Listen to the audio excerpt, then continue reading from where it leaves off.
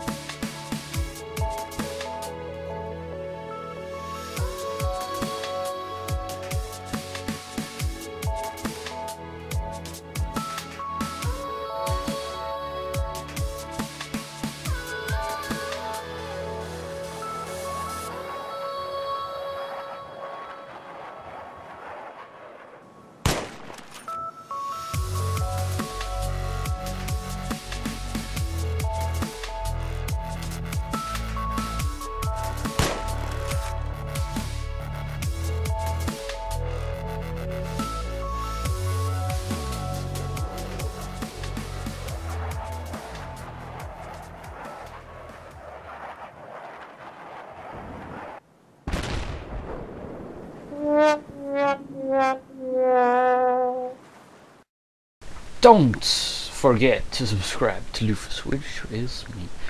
You won't regret it, I promise.